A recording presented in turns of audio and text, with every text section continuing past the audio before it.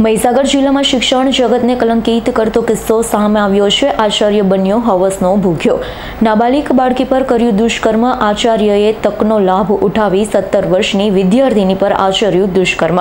સંતરામપુરના જાનવડ હાઈસ્કૂલના આચાર્ય રાજેશ પટેલ સત્તર વર્ષની વિદ્યાર્થીની પર કર્યું દુષ્કર્મ. વિદ્યાર્થીની પોતાની ખરીદી માટે લુણાવાડા બજારમાં આવી હતી. ત્યારે આચાર્ય મળતા વાત કરી અને આચાર્યએ કીધું, બેટા, ચાલ મારા ઘરે ચા પીને જા, બહુ સમય આવી છે તેમ કહી ઘરે લઈ જઈ આચાર્યએ વિદ્યાર્થીની સાથે કર્યું દુષ્કર્મ. રાજેશ પટેલ અગાઉ લુણાવાડાની કિસાન હાઈસ્કૂલમાં શિક્ષક તરીકે ફરજ બજાવતો હતો, જેને લઈ વિદ્યાર્થીની તેને ઓળખતી હતી. વિદ્યાર્થીની મરજી વિરુદ્ધ ઘરે લઈ જઈ કર્યું દુષ્કર્મ. દુષ્કર્મ કરી વિદ્યાર્થીનીને તેના ગામની સીમામાં છોડી ભાગી છૂટ્યો આચાર્ય. યુવતીના પરિવારજનોને જાણ થતાં યુવતીને લઈ લુણાવાડા સરકારી હોસ્પિટલમાં પહોંચ્યા.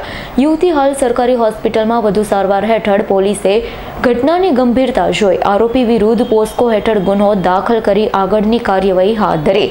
લુણાવાડા ટાઉન પોલીસ આરોપીને પકડવાના ચક્રો ગતિમાન કર્યા.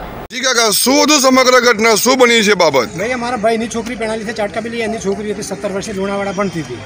હવે એને કાલે અહીં એક શિક્ષક છે ભાઈ પટેલ જ છે. ભાઈ એને અહીં આવેલી માલસોમાં અમદાવાદ કોલેજમાં જવાનું હતું આજે. એટલે એને ખરીદી કરવા માટે આવેલી અને બજારમાંથી લઈ ગયો. શિક્ષક ક્યાં ફરજ બજાવે છે? અહીં લુણાવાડા કિસ્સામાં હતો પણ અત્યારે બદલી થઈને જાનવડ બાજુ ગયો છે ત્યાં. સરસણ ગામનું છે. હવે એને આ ફોસલાઈને બીજા કોઈક ભાઈની રૂમ પર લઈ ગયો. ત્યાં જઈને જોડે દુષ્કર્મ કર્યું. અને પછી પાછો ડેપોમાં બસ બસ સ્ટેન્ડ આવીને મૂકી છું પછી આ છોકરી બોન્ડમાં આવી ગયા રહીને એટલે કંઈ કે મારા જોડે આવું છું એટલે મેં દવાખાને લઈને આવ્યા. પછી એને આખી હિસ્ટ્રી કંઈક આ રીતે કર્યું. હવે આ બાબતે મેં એફઆઈઆર કરેલી છે. પોલીસ તપાસમાં બી આવી હતી. એટલે અમારે આનો કાયદેસર ન્યાય જે મળે વ્યવસ્થિત એ જોઈએ. શું નામ આપણું શિવાભાઈ.